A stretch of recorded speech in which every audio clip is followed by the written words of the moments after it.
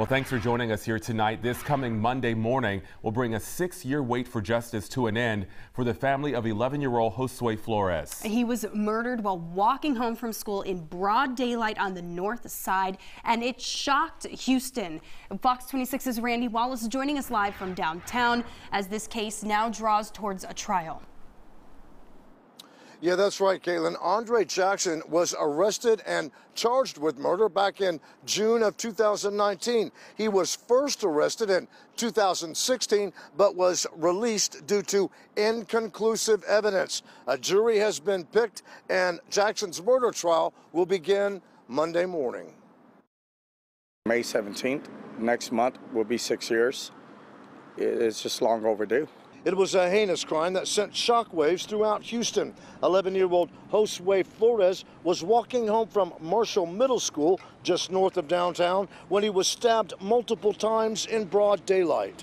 All this young boy was doing was kicking rocks and jumping over puddles and it, it is. It gets us a bit, tad bit emotional, if not a lot of emotional.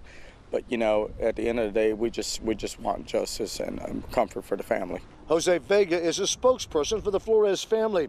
The Floreses have waited six years for justice. Vega says the family no longer lives in the North Side neighborhood. They just want their the rest of the children to live a normal life and just move forward. And I think that's the right thing that they did.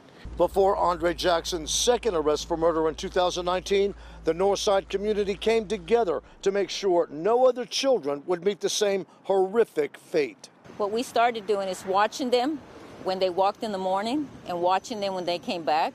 Uh, you could be sitting in your car, sitting in your porch, have an open window, drinking your coffee, and we taught them how to do this anonymously and what the police needed so that we could catch that suspect.